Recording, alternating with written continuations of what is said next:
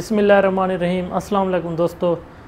دوستو، اس ویڈیو میں کون کون سے شخص یا افراد کرونا کی ویکسین نہیں لگوا سکتے؟ کیونکہ کرونا ویکسین سے کافی دوست اس سوال سے کنفیوز ہیں۔ کیونکہ اگر آپ پہلے سے کسی مرض میں مبتلا ہیں یا پہلے سے کسی بیماری کی وجہ سے ٹریٹمنٹ کر رہے ہیں، تو کرونا کی ویکسین کے زمرے میں نہیں آتا۔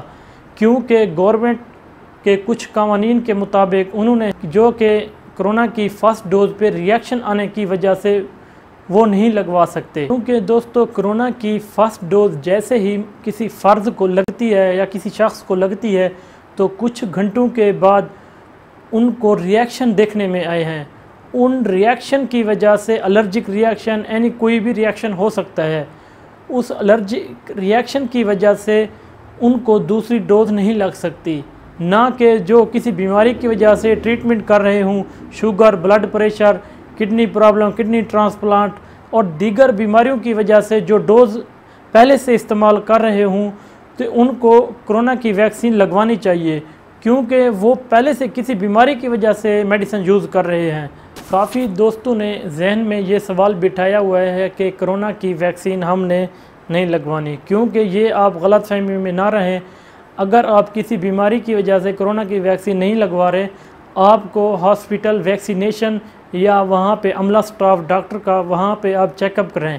وہاں جا کر چیک اپ کرانے کے بعد ہی وہ ڈاکٹر بھی فیصلہ کریں گے کہ آپ کو کرونا کی ویکسین لگوانی چاہیے یا نہیں لگوانی چاہیے۔ اس لیے آپ کو وہاں پہ جانا بہت ضروری ہے کہ آپ یہ خود فیصلہ نہ کریں۔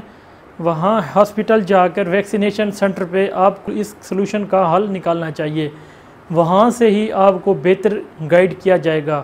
بچوں اور نوجوان کو خاص قسم کی ویکسین نہیں لگوائی جاتی، کیونکہ خاص ویکسینیشن حاملہ عورتوں اور دودھ پلانے والی ماؤں کو خاص ویکسین لگائی جاتی ہے، کیونکہ ان کے امیونٹی سسٹم کو بہتر کرنا ہوتا ہے۔